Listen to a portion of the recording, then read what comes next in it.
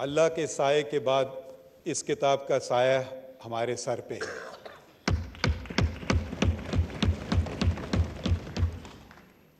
ये किताब हमारी पहचान है। ये किताब पाकिस्तान की पहचान है। ये किताब पाकिस्तान के जो उस वक्त के डायरेक्टली इलेक्टेड रिप्रेजेंटेटिव्स थे, उन्होंने यूनानिमसली इसको पे वोट किया। कोई नेगेटिव वोट नहीं था। एब्सटेंशंस मेरे ख्याल में शायद चार थे। तो इसकी जो अहमियत है, उसको हमें पहचानना चाहिए और उस पर हमें अमल करना चाहिए।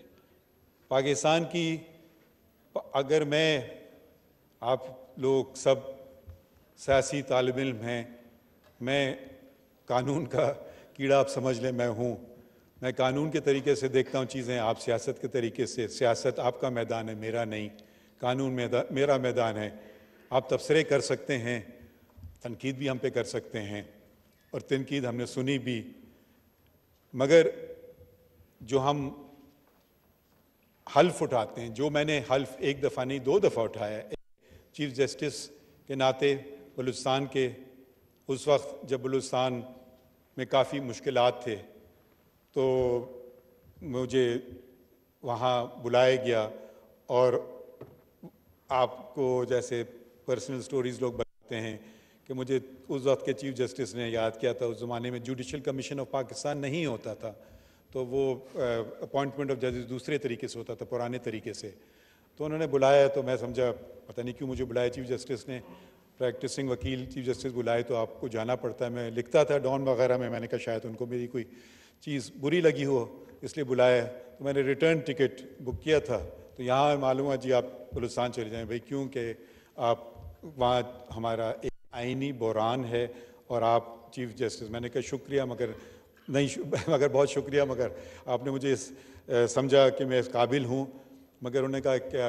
फिर उन्होंने ऐसी बातें की जो मैं उनका नहीं कि भाई आपका आपका ये आ, मुल्क है आपके लोगों बलूचिस्तान में अब आपका हम पे हक है, अब आपको ही जाके काम करना होगा। तो मैं गया अकेला बलूचिस्तान, वाहिद जज था और फिर आहिस्ता आहिस्ता अपनी हाई कोर्ट बनाई, अपॉइंटमेंट्स किए, जो अपॉइंट्स किए जजेस, वो सारे अल्लाह के फजल से कन्फर्म हुए, शायद मेरा उस वक्त का हंड्रेड परसेंट रिकॉर्ड था। फिर यहाँ आने को मिला और हम में जो मुझे समझ नहीं आता है, हम में जो हम कभी कभी दुश्मनों से इतनी नफ़रतें नहीं करते हैं जितनी एक दूसरों से करते हैं। ये क्यों है? ये हम और आप, आपसे मुराद पार्लियामेंट और ब्यूरोक्रेसी, ये सब और सब का वजूद एक ही होना चाहिए और एक ही है। वो है लोगों की खिदमत करना। हमारा काम ये है कि जल्द फैसले करें आइन और कानून के मुताबिक।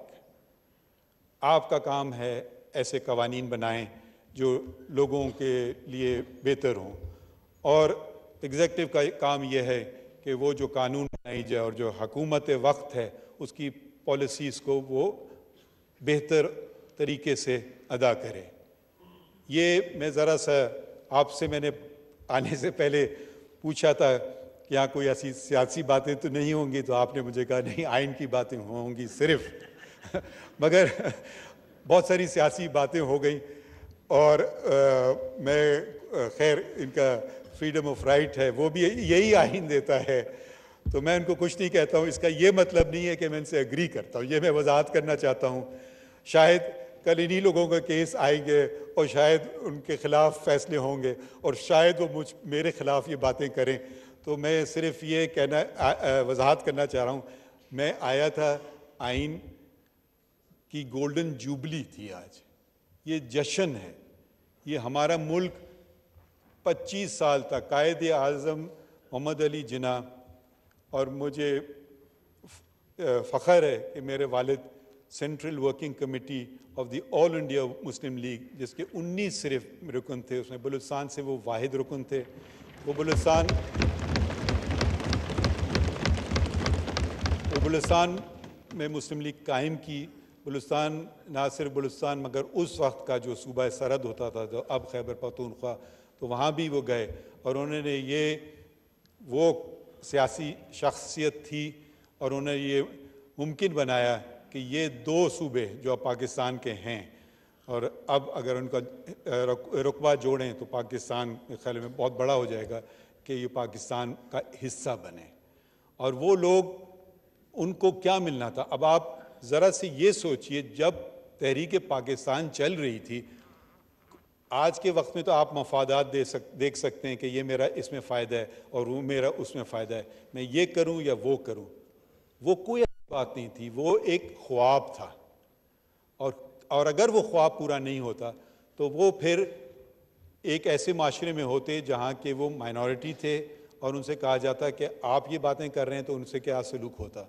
तो उन्होंने ख्वाब देखा कायद अज़म अलामा इकबाल ने, और फिर एक पॉलिटिकल मूवमेंट बनी, और दुनिया भर में, दुनिया भर में मुसलमानों का सबसे बड़ा मुल्क वजूद में आया, सबसे बड़ा मुल्क।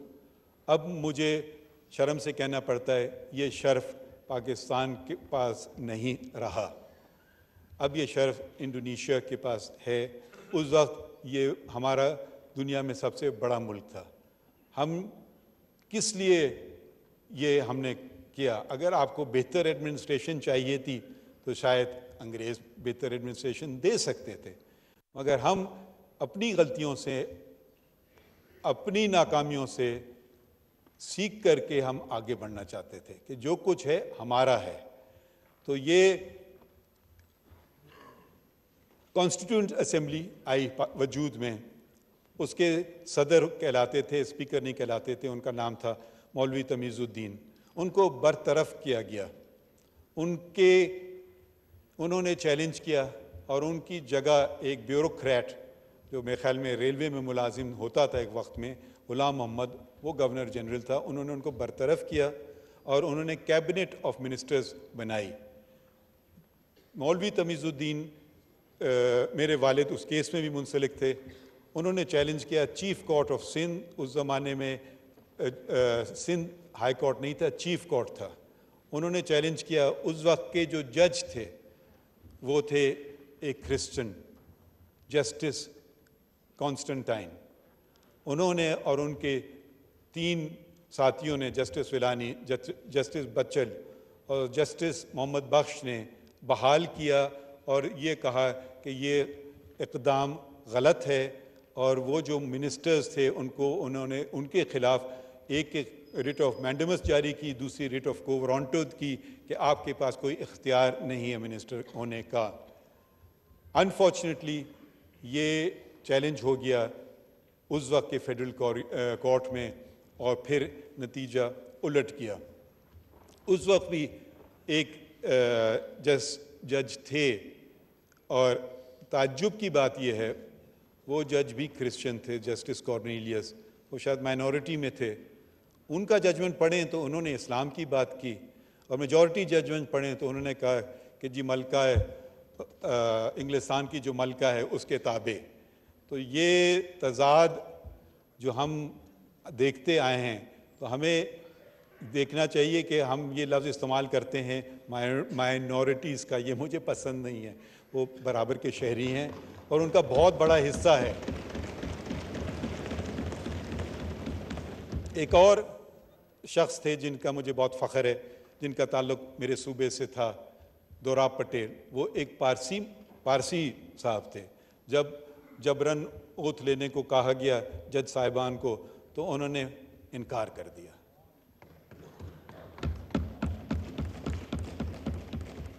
तो सिर्फ़ मैं ये आपको कहना चाहिए था, मैं कहना चाहता था, मैं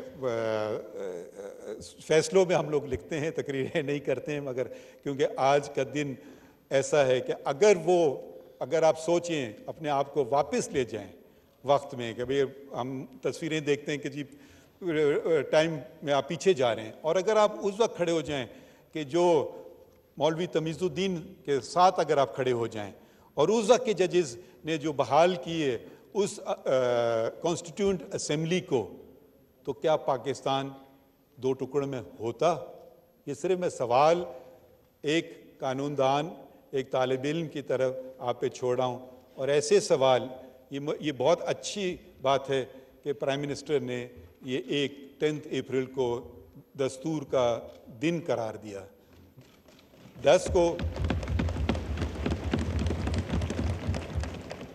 थोड़ा सा ताल्लुक मेरा इस ऐवान से ये भी बनता है कि मेरी चची उसकी मेंबर थी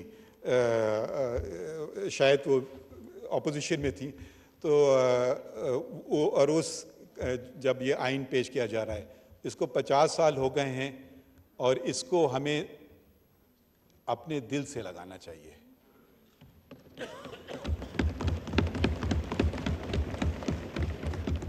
इसलिए नहीं कि इसमें मेरी तनख्वाह गारंटीड है, मगर इसलिए क्योंकि इसमें लोगों के बुनियादी हकूक़ का तस्करा है। सबसे अहम बात इस आइन में जो है वो लोगों के बुनियादी हकूक़। ये भी एक रेजोल्यूशन पेश हुआ जो मेरे ख्याल में बहुत अच्छा है कि वो आइन को हम अपने स्कूल में पढ़ाते नहीं हैं। मेरी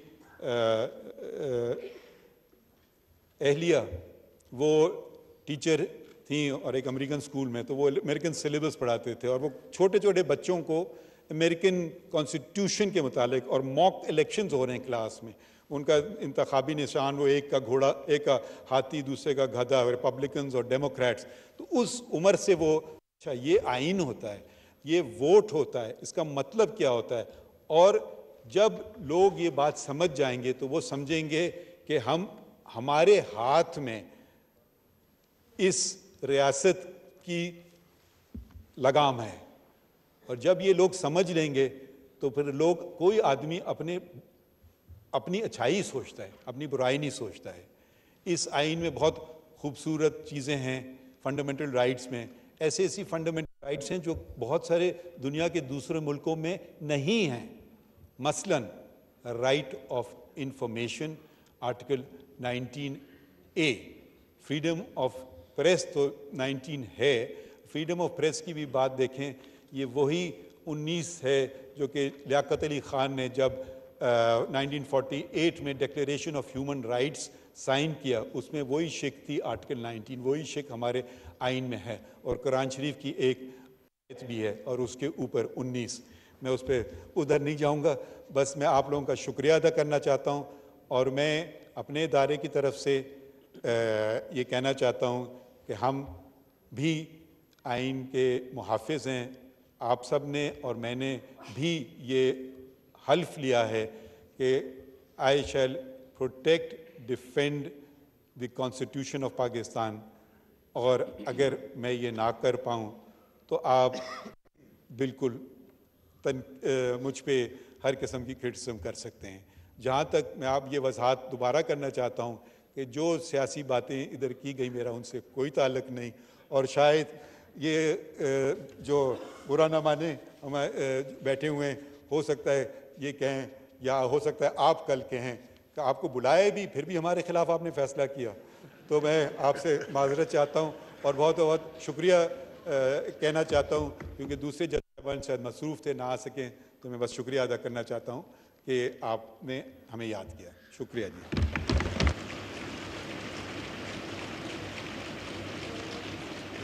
बहुत शुक्रिया जनाब जस्टिस काजी फायजी साहब।